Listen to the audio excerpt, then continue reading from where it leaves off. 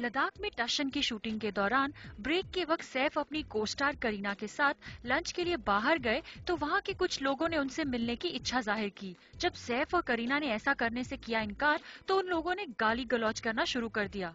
फिर जब इन दोनों स्टार्स के बॉडीगार्ड ने इन लोगों को धमकाया तो लोकल्स ने सैफ और करीना पे कर दी पत्थरों की बरसात। परेशान होकर सैफ ने बाहर आकर उन्हें समझाने की कोशिश की, मगर वो लोग तो जैसे सुनने को ही तैयार नहीं थे।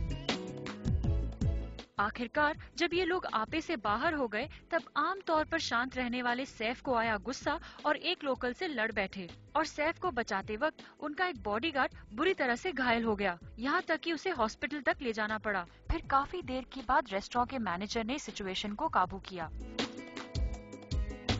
सुनने में आया है कि ये फैंस करीना के साथ बदतमीजी से पेश आ रहे थे, जबकि कुछ लोगों का कहना है कि करीना ने ही उनसे अखड़पना दिखाया। सच जो भी हो, सैफ को आया गुस्सा और वो उन लोगों से भिड़ गए। नवाबी खून वाले सैफ पहले भी दो बार इस तरह की मारपीट में शामिल हो चुके हैं। एक बार गुड़गांव के एक पब में वो कुछ लोगों से उलझ गए थे और तब उन पर बोतल से हमला हुआ था। दूसरी तरफ़ जब एक पत्रकार अशोक रो कवि ने मैं खिलाड़ी तो अनाड़ी में सैफ और अक्षय के दृश्यों को होमो इरोटिक यानी समलैंगिकता की तरफ़ इशारा करने वाले बताया था और साथ ही सैफ की माँ शर्मिला टैगोर पर भी छीटाकशी की थी तो सैफ ने उसके घर जाके उसे पीटा था। लग रहा था कि उम्र के साथ सैफ बदल गए होंगे, मगर इस घटना से लगता है कि छोटे नवाब को गुस्सा अभी भी आता है।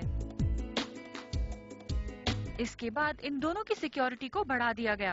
एक्टर सैफ अली खान, करीना कपूर, अक्षय कुमार और अनिल कपूर को लोकेशन के बाहर ना जाने की सख्त हिदायत दी गई। वैसे सैफ एक टॉप स्टार तो है ही और फ़िल्मों में तो वो टशन मारते रहते हैं, मगर असल ज़िंदगी का ये टशन उन पर पड़ गया काफ़ी भारी।